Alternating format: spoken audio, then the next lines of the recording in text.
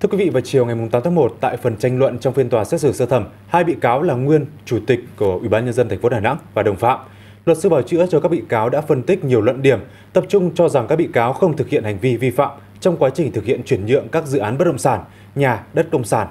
Trong đó thì dự án 29 ha thuộc khu dự án khu đô thị mới quốc tế Đà Phước được nhiều luật sư đề cập tới. Nói về dự án 29 ha, luật sư Hồ Quốc Tuấn bào chữa cho bị cáo Nguyễn Điểu, nguyên giám đốc Sở Tài nguyên và Môi trường thành phố Đà Nẵng cho rằng, báo cáo số 33 do bị cáo Nguyễn Điểu ký có nội dung giao 29 ha đất cho một công ty Việt Nam theo quy định và công ty Daewon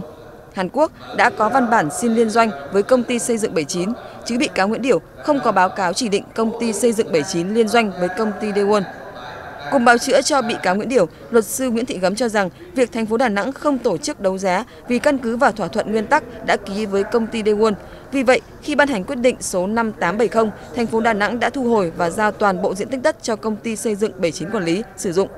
Về nội dung này, cáo trạng của Viện Kiểm sát nêu rõ, từ năm 2006, trước khi Ủy ban nhân dân thành phố Đà Nẵng và công ty Daewon ký thỏa thuận nguyên tắc Phan Văn Anh Vũ đã được lãnh đạo thành phố Đà Nẵng giao hợp tác với công ty Daewon triển khai thực hiện dự án 29 ha. Như vậy, không có việc Daewon đề xuất liên doanh với công ty xây dựng 79.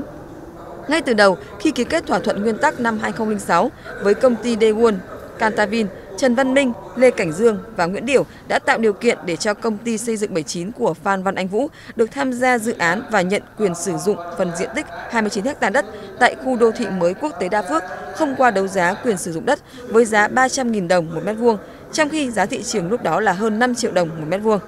Sáng mai, mùng 9 tháng 1, phiên tòa tiếp tục với phần tranh luận.